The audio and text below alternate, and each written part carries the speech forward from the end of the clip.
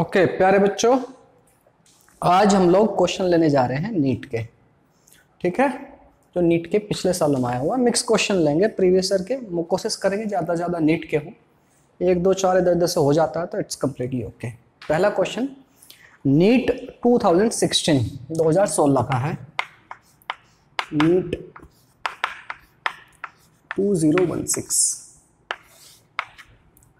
ठीक है, कह रहा है an electric dipole is placed at an angle 30 degree with an electric field intensity 2 into ten की power 5 it experience a torque equal to 4 newton metre कहा the charge on the dipole if the dipole length is 2 centimetre is आपको याद होगा torque का जो formula होता था torque होता था हमारा पी क्रॉस ई फिर बोल सकते हैं पी साइन थीटा थीटा क्या होता था? इन दोनों के बीच का एंगल ठीक है? पी साइन थीटा हमारा फॉर्मूला होता था। पी क्या होता था? थीटा क्या होता था? इन दोनों के बीच का एंगल अभी एंगल कितना दे रखा? है थर्टी डिग्री ठीक है? तो कहा है भाई? डायपोल इलेक्ट्रिक फ़ील्ड इसके बीच का एंगल पूछ। रहा है तो आपका दे रखा है थर्टी डिग्री साफ़ साफ़ लिखा हुआ है। तो प्यारे बच्चे टॉर्क कितना दे रखा? है फोर न्यूटन मीटर पी की वैल्यू पी क्या होता है? Sir charge into charge into length between them होता है।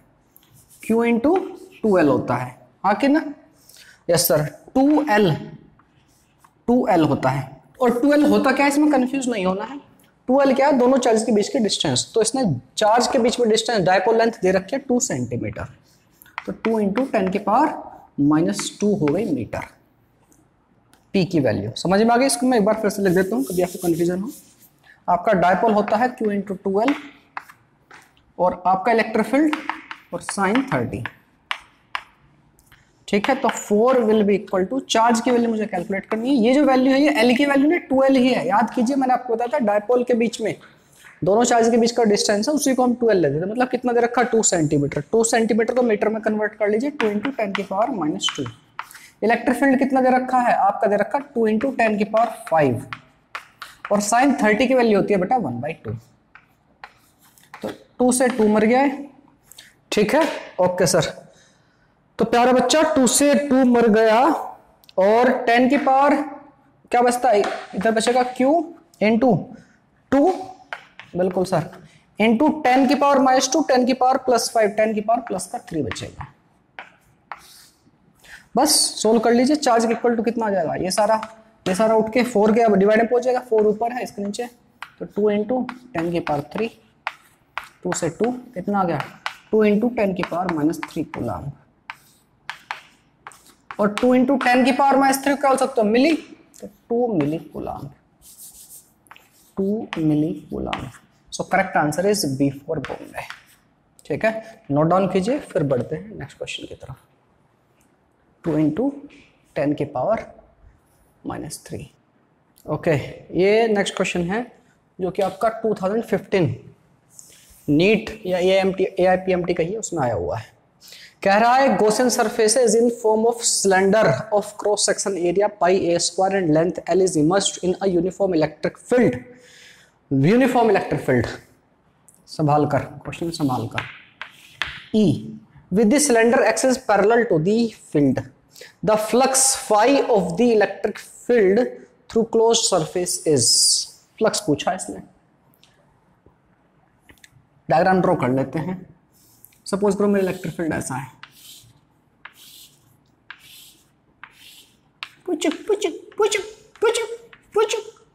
ठीक है? आपने एक सिलेंडर लेके आए आप, और यहाँ पर पटक दिया। ऐसे मान लेते यहाँ पुचुक यहाँ axis parallel to the electric field मतलब ऐसा आपका इलेक्ट्रिक फ़ील्ड है, ऐसा। और इसके अंदर आपने एक सिलेंडर पटक दिया है। ये रहा। ठीक है बेटा? आंसर है यस मास्टर जी, बिल्कुल सही बात है यहाँ तक तो।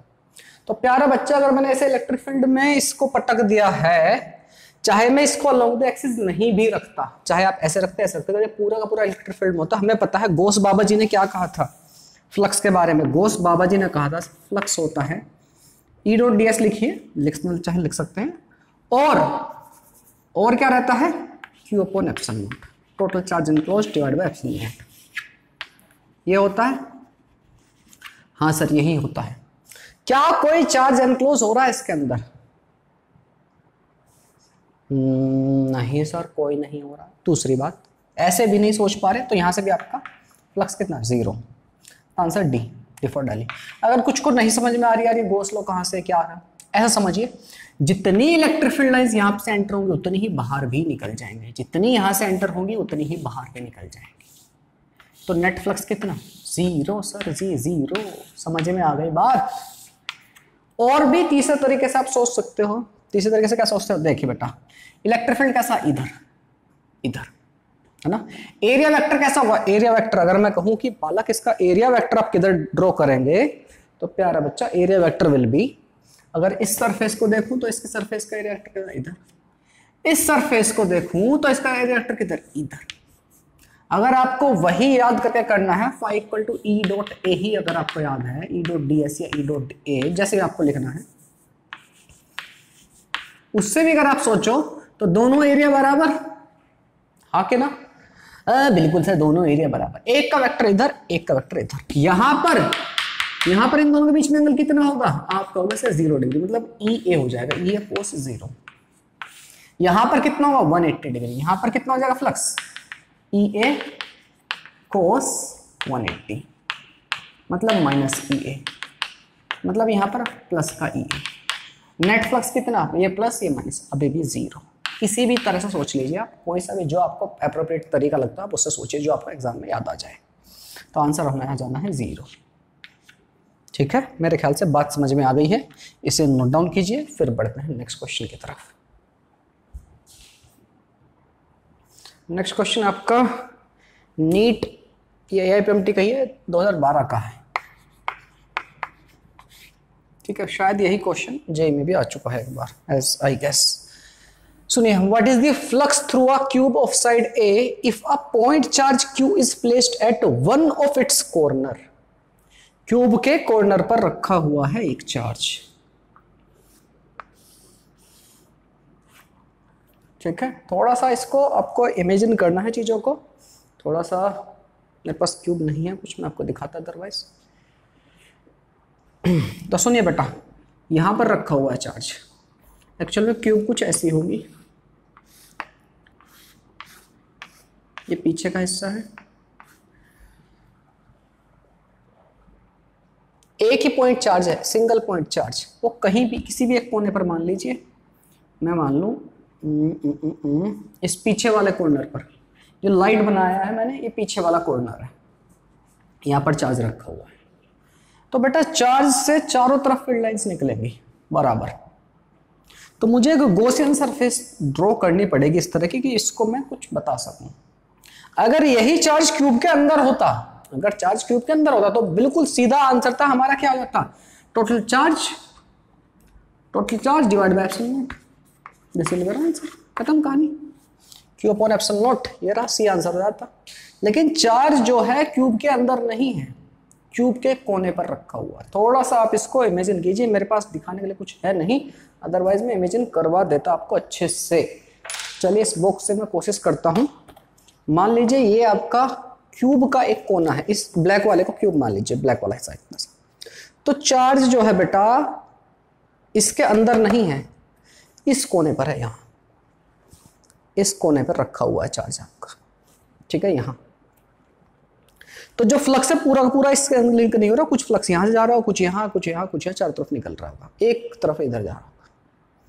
अगर मैं ऐसी ऐसी कुछ और क्यूब ले आऊँ, बिल्कुल ऐसी ही सेम साइज़ की, कुछ और क्यूब रखूँ और कोशिश करूँ इसको ढकने की। मतलब सर अगर चार्ज आपका यहाँ रखा हुआ है तो मैं एक क्यूब ये चार्ज यहाँ पर रखा हुआ है। आपने जो देखा, इधर मैं इस कोने को पीछे की तरफ़ ले आता हूँ। मतलब चार्ज आपका यहाँ, इधर।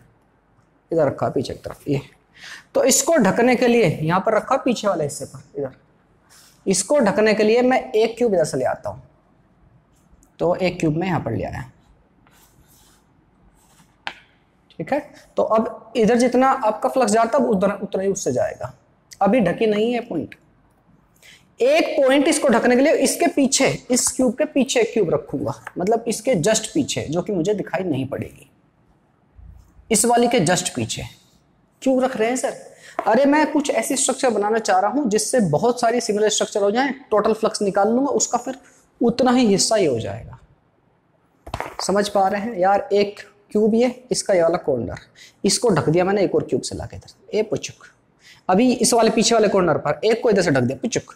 इधर, चार। अभी भी कॉर्नर से जो ऊपर लाइट जा रही थी, वो बजानी बंद। लाइट मतलब समझिए इलेक्ट्रिक फ़ील्ड ऊपर की तरफ़ जो इलेक्ट्रिक फ़ील्ड जाता वो चारों को चारों बॉक्स से ही पास होगा, चारों क्यूब से पास होगा। लेकिन अभी भी पूरा इलेक्ट्रिक फ़ील्ड नीचे की तरफ़ जा रहा है, आधा।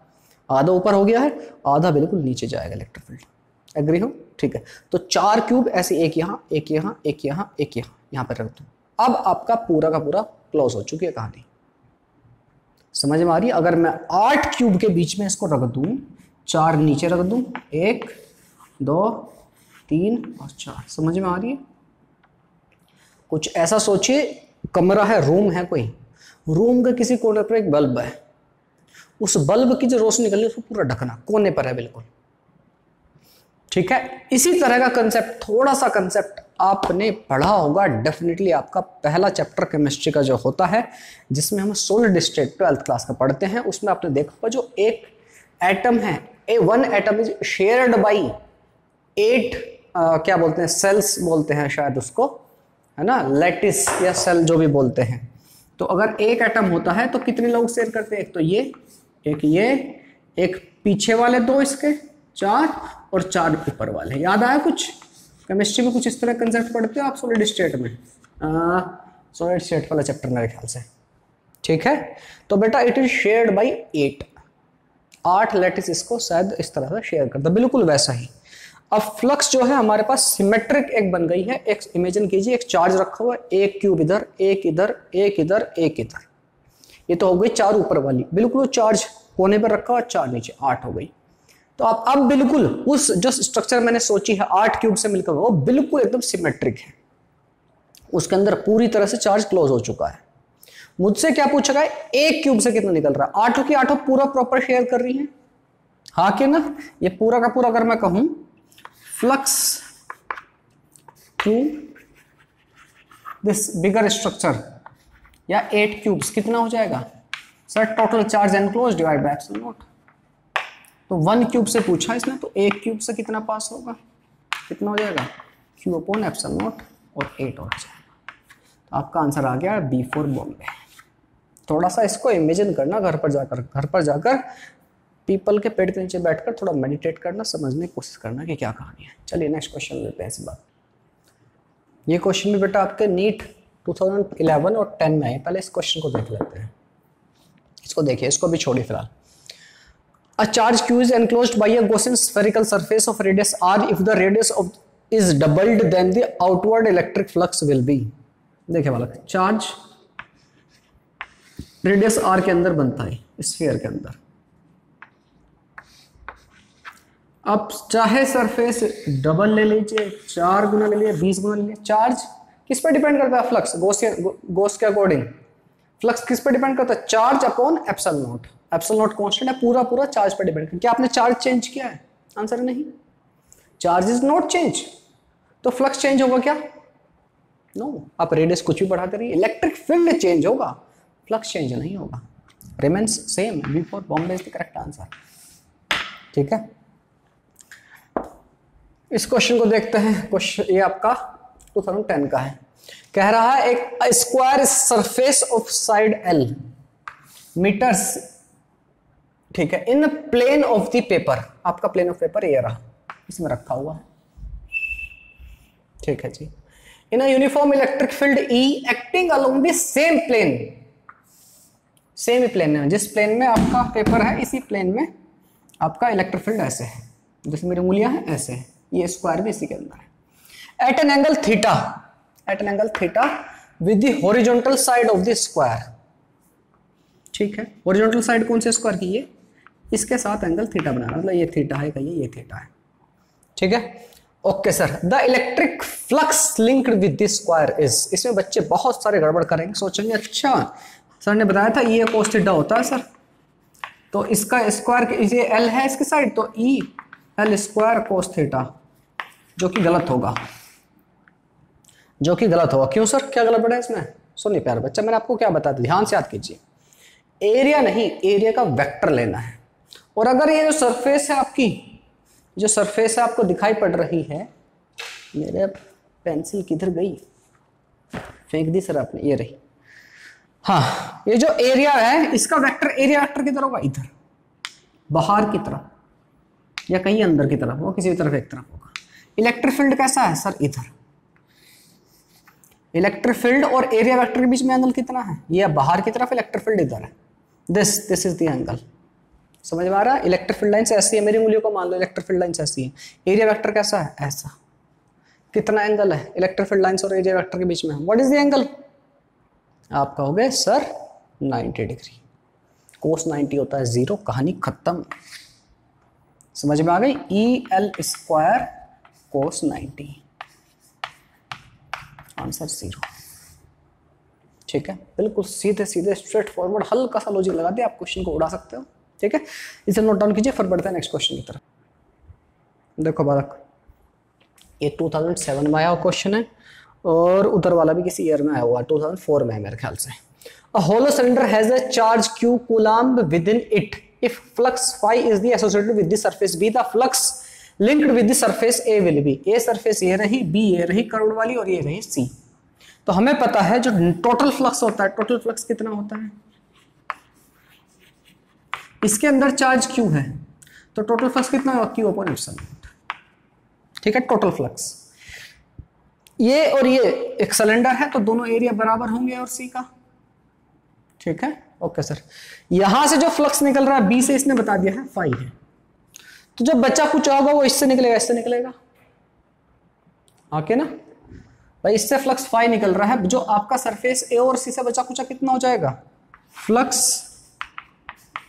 थ्रू ए और ए प्लस सी ए और सी से कितना होगा आपका? ए और सी से निकलने वाला। तो आपको टोटल फ्लक्स में से सर क्यू एप्सल नोट में से, इस वाले फ्लक्स को हटा दीजिए फाइव को। और जितना ए से निकल रहा है, उतना ही सी से निकलेगा। दोनों के सेम ही कहानी है। तो फ्लग फ्लक्स थ्रू ए कितना हो जाएगा? फ्लक्स थ्रू ए कितना हो जाएगा? इसका आधा। तो Q upon epsilon naught minus five और मल्टीप्लाई कर दीजिए आधे से। मतलब आंसर आपका A for apple is the correct answer